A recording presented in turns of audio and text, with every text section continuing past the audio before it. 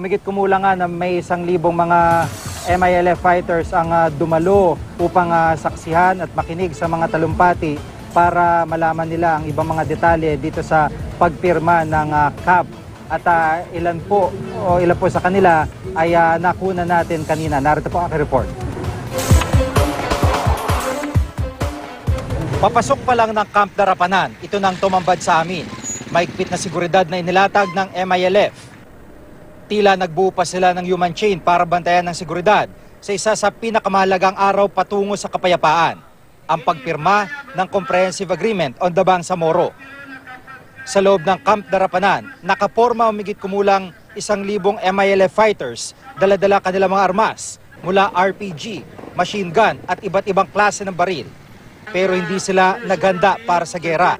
Nakikibagi sila sa daan para makamit ang kapayapaan. Nakikita natin ang combatants ng MILF na pinapakita nila at pinaparamdam nila ang kanilang feelings na sila ay masaya, nagagalak sa narating usaping pangkapayapaan ng gobyerno ng Pilipinas at ng MILF sapagkat alam po nila na napakatagal na ng panahon mula pa noong 1968 hanggang kalagitnaan ng 2008 ay walang humpay ang digmaan dito sa Mindanao.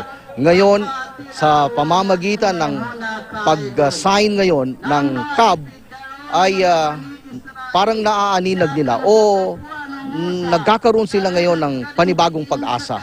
Kabi-kabila mga programa, may kantahan at meron din mga tindahan para sa mga bata at nanay na nais mamili.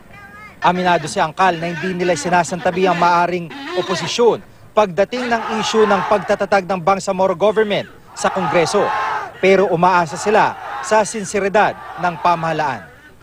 Common po ang expectations at ah, nararamdaman ng lahat ng mga bangsamoro dito sa Mindanao ang tuloy-tuloy na na pag-iimplementa at magkakaroon na ng pansariling pagpapasya under ministerial form of government na magkakaroon na ng tunay na kahulugan ng autonomiya na meron pong sariling pagpapasya, meron pong fiscal autonomy at sa lahat ng antas ng tinatawag natin genuine autonomy ay makukuha na ng Bangsamoro.